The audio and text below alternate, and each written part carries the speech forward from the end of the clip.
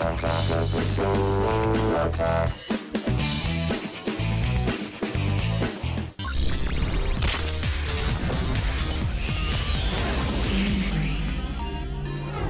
Hey, it's Adam Sessler, everybody. How are you, sir? I'm good. Good to see you. Um, before we before we get to the game, real quick, we actually have some breaking news. Uh, the New York uh, Magazine's Vulture blog reported that Steven Spielberg's DreamWorks picture might be helming the new Halo movie. Is that true? DreamWorks is It's the. Duke Nukem Forever of movies. Yeah, exactly. Exactly. Uh, I, I, I guess so. Uh, they are interested in getting it. Uh, you know, Universal already kind of dropped 12 million into their attempt. You know, all those years ago with Neil Blomkamp and all that stuff. Uh, this would actually probably be not based on the games, but more on the books. Maybe like Fall of Reach. Okay. Which is kind of yeah, it's a little different than actually if, if, if you play Halo Reach. Apparently, Spielberg was blown away by one of the treatments, and uh, he's interested in doing it.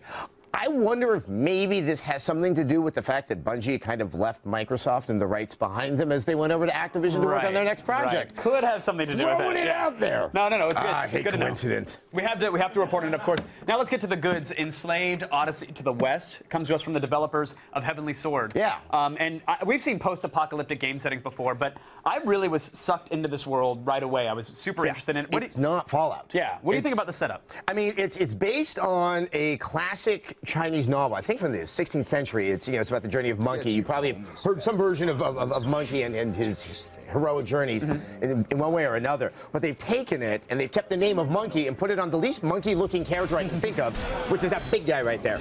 And uh, you are more or less journeying uh, to the west in an apocalyptic setting. It's, it, it's got a wonderful sense of mystery because there's this.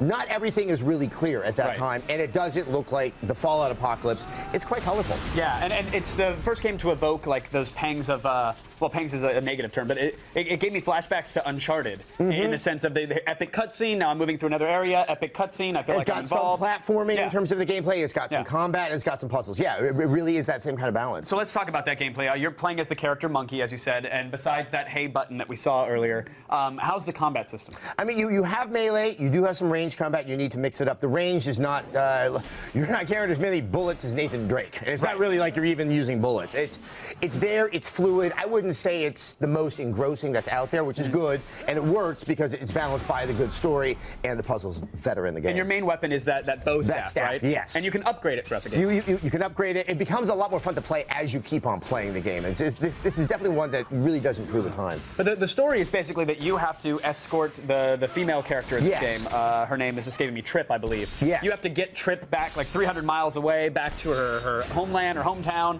and you're basically her slave. You're and I go, slaves. okay, so it sounds like the game is, an, is, is one giant escort mission. Yes. Which, when you say escort missions, Yeah, you want to run away. yeah, Craigslist fans perk up, but game Um, gamers, they no, no, they're not fans. Ninja Theory is part of the modern era of game development, which I wouldn't say all developers are. Mm-hmm. Uh, and they know that if you're going to do this, don't make the combat put her in danger all the time. Really, there's a lot of danger that seems to be happening in some of the puzzle elements of the game. It's like, okay, how do I keep her from dying? It isn't this kind of babysitting as you were doing in, say, games like Resident Evil 5. Okay. Uh, one, one important thing is, no, the game does not have co-op. I don't think it works for the game's deficit. This really was designed to be a very, very well-articulated single-player adventure. Right, yeah, and it, it seems like those moments where you, you would even potentially want co-op, you're given the tools to solve it yourself. It's almost like if your partner's in harm, that's because there's a puzzle element that you're Exactly. doing wrong. So figure it out. Um, I, I love it. I thought it was gorgeous. Uh, what are we? What are you guys rating It's, it? What it's, it's, it's a four out of five, and it's Okay. worth pointing out. That's good.